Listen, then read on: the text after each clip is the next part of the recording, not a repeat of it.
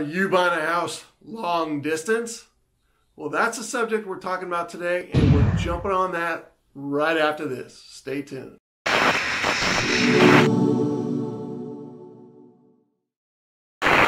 Hey everybody, welcome back to my channel. My name is Steve Arthur. I am a local realtor here in the Long Beach and the surrounding cities. Now, if this is your first time seeing me here on YouTube, hit that subscribe button. Ring that bell for future notifications because I do put out videos every single week about Long Beach, about the surrounding cities, about the things that you want to know about. Where to work, live, eat, and play. Today we're talking about buying a home long distance, so I'm going to give you five tips on how to do that. But stay tuned for the end of it because at the end I will be putting in a bonus tip. So you want us to stick around for that. So here are five tips for you for buying a house long distance. Number one, do your research. Now, you're moving to an area that you've never been to before, and there's a lot of different areas to investigate, and areas that are right for your family and right for your budget. Now, here in Long Beach, we have coastal communities. We have Orange County, just a stone's throw away from here. Or do you want to be in the neighborhoods with the best school district and the family friendly neighborhoods? By the way, I did do a video on the most family-friendly neighborhoods in Long Beach, and you can check that out right up here. Or maybe you just want a little more land for your family, so you want a bigger backyard, so you want to move inland from the coastal area. So you want to go towards Lakewood or Long Beach, uh, Bellflower, and get a little bit bigger lot for your kids to play in. Or maybe you're just that hard-working young professional and you want to party and live in that downtown area. That's fine. We have downtown LA and downtown Long Beach. Great places to work, live, and play hard. Now, each one of these areas has its unique set of pros and its unique set of cons. So that is up to you to decide based upon your family's needs, such as do you want a shorter commute to work so that you can spend more time at home with the family? Or do you just want that best school district, period, so start your research and narrow it down because when you come down here house hunting, you're only going to be here for a few days. Now, you don't want to be looking at houses that are 40, 30, 50 miles apart simply because you didn't know.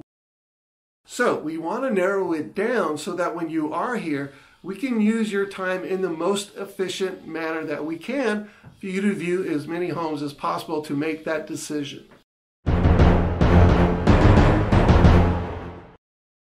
Find a realtor who works with out of town buyers in the area that you're looking for. Now, you should always look for a realtor that works with out of town buyers. Now, I work with a lot, a ton of out of town buyers with this YouTube channel.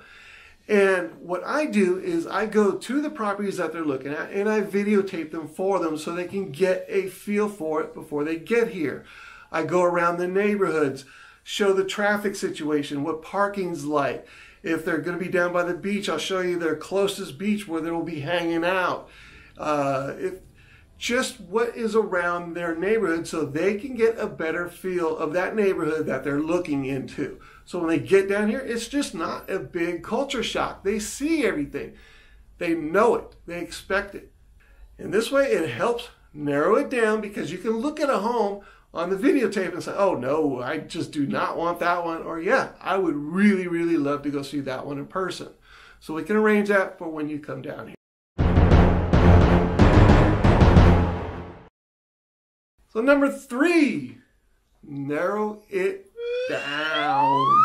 Now let's just say for shits and giggles, you narrowed it down to three different areas that you really like. So now you've been looking on my website and you found a bunch of homes that meet your criteria in these different areas. But you're only going to be coming to town for a few days. So looking at 30 or 40 homes is going to be nearly impossible and not to mention stressful. It's going to be stressful on me and it's going to be really, really stressful on you because all those houses will, will start to blend together.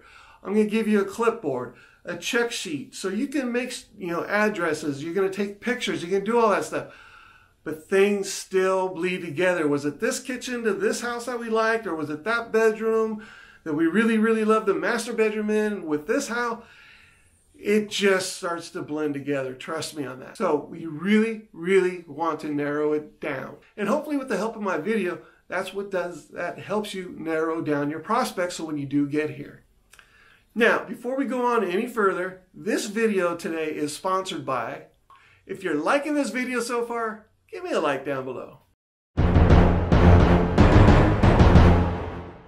Number four, know your market.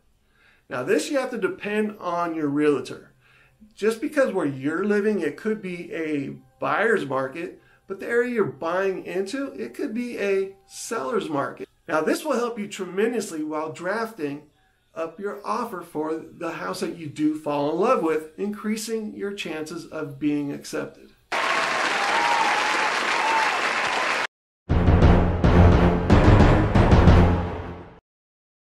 Number five, now this is pretty key too.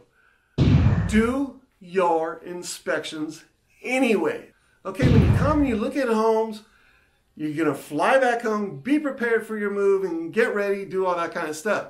Have the home inspections done anyways. Your realtor will attend those for you and let you know everything. You will get a full copy of that report.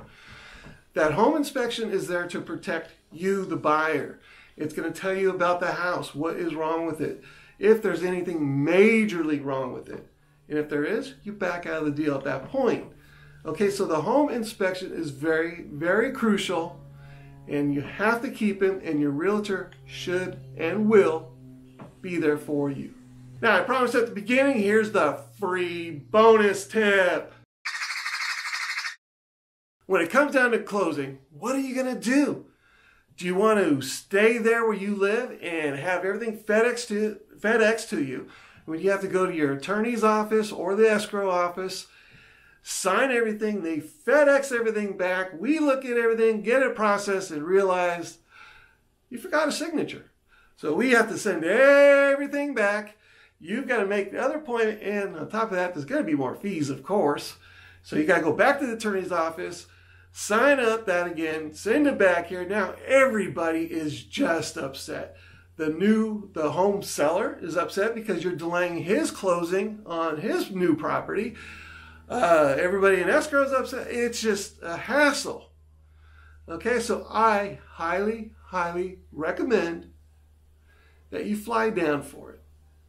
Because by the time you go to the attorney's office, you pay the fees, you do all that stuff, probably could have just gotten a cheap plane ticket, flown out here, signed, and flown right back home, and it's done, taken care of. Again, my name is Steve Arthur. I am a local realtor here in the Long Beach area and the surrounding cities. So if you or anybody you should know may need of any real estate assistance, please reach out to me.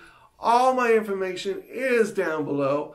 If you like this video, hit the like button, hit that subscribe button. Leave a comment if you agree or disagree.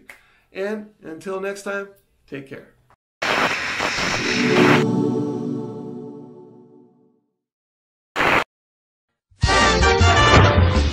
So long, folks.